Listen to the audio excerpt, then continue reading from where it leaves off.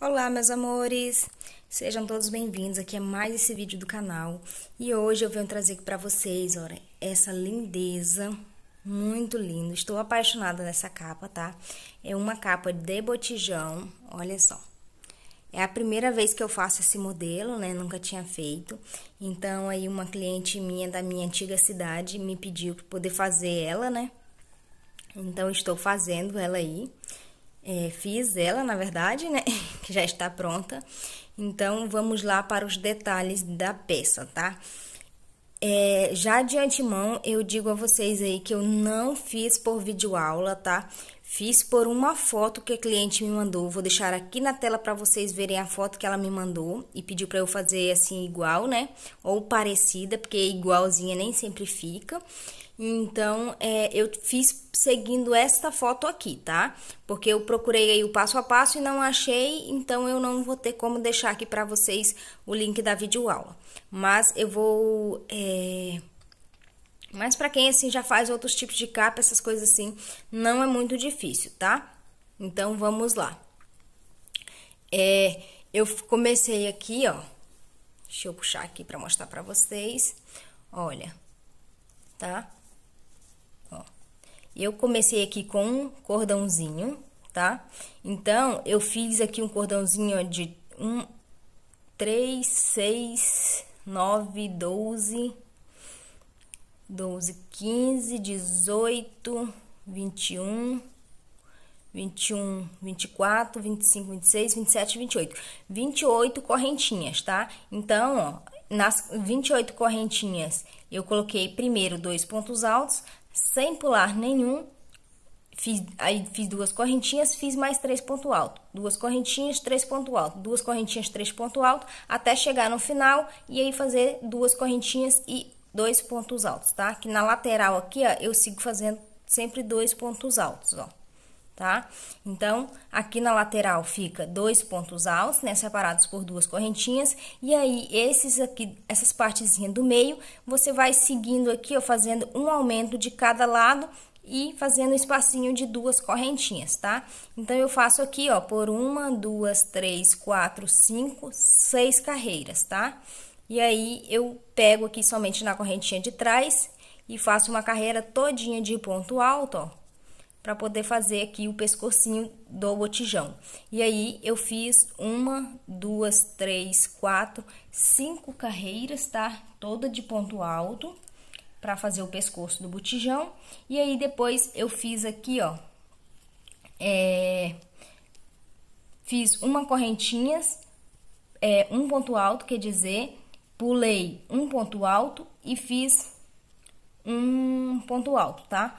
Então, para cada ponto alto desse, eu pulei um ponto alto, tá? Ó, pulei um ponto alto, fiz uma correntinha, um ponto alto, uma correntinha, um ponto alto, pulei um ponto alto. Para fazer esse espacinho aqui para colocar a minha corrente, a minha cordinha.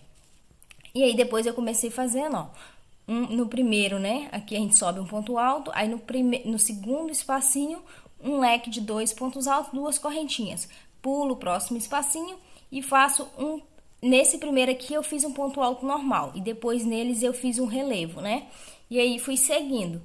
Ó, ponto alto, relevo, leque. Sempre com um de separação, tá? Ó, sempre fica um vaziozinho. Aí depois eu peguei e fiz assim, ó, três, é, fiz, fui seguindo fazendo leques de três pontos altos. E no, em cima dos relevos é um relevo normalmente, tá?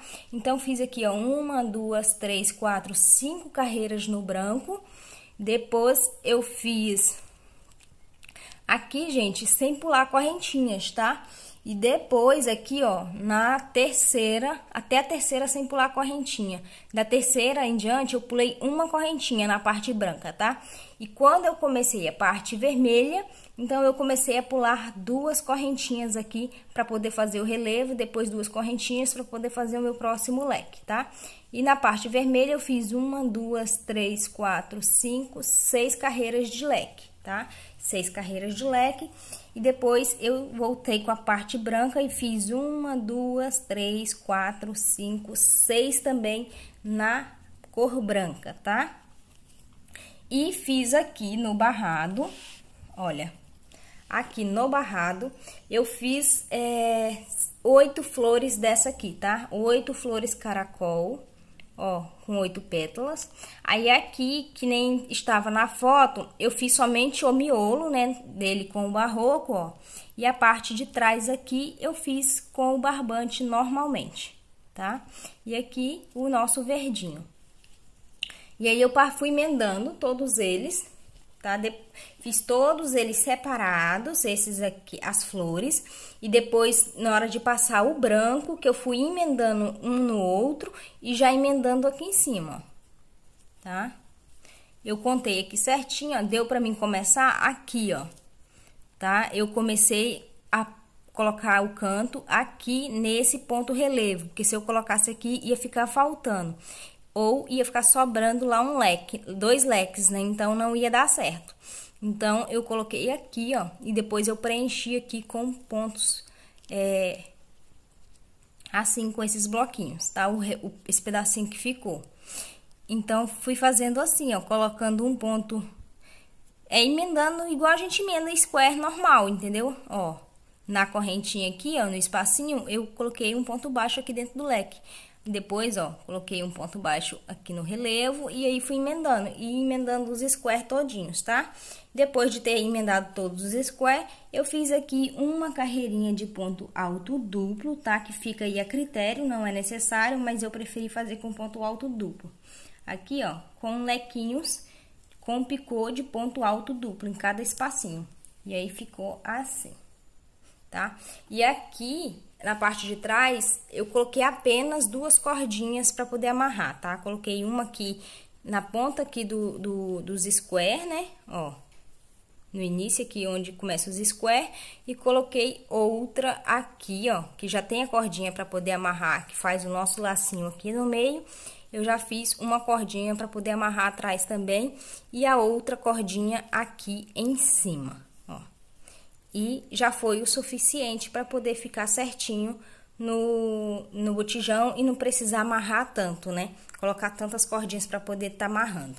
Então, essa foi aqui a nossa capinha, tá? De botijão.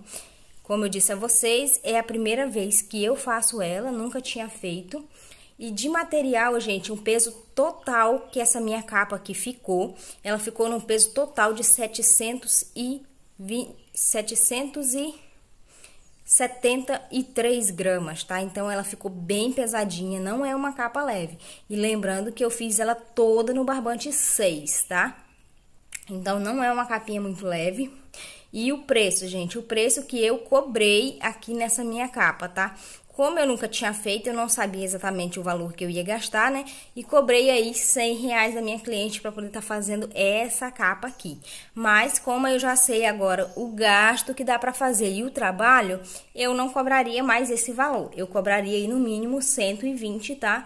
Numa capa dessa daqui tá? 120 reais. As próximas que eu for fazer nesse modelo aqui serão de 120 reais, porque ela dá um trabalho sim e é bem assim, gasta um pouquinho, né? Isso é quase 800 gramas de barbante aí para você tá fazendo uma peça igual a essa, tá? Então agora eu vou mostrar aí para vocês como é que ficou essa capa aqui no botijão, tá? Para vocês verem como é que ela ficou bem assentadinha, bem certinha, tá? Então acompanhe aqui. Bom, meus amores, então ela ficou assim, ó, colocada, né, na capa do botijão. Aqui as flores, né, ó. Ficou bem rentezinha ao chão, nem né, pouquinha coisa para encostar. Olha. O lacinho, né? Aqui a parte de cima, tá? E aí a parte de trás ficou assim, ó. Tá? Então, esse aqui foi o resultado da minha capa de botijão no botijão, olha. Ficou bem bonito, né? Eu amei ela. Então, se vocês gostaram, deixa um like, deixa um comentário. É, me diz aí o que vocês acharam dessa capa, né? Então, beijos e até o próximo vídeo.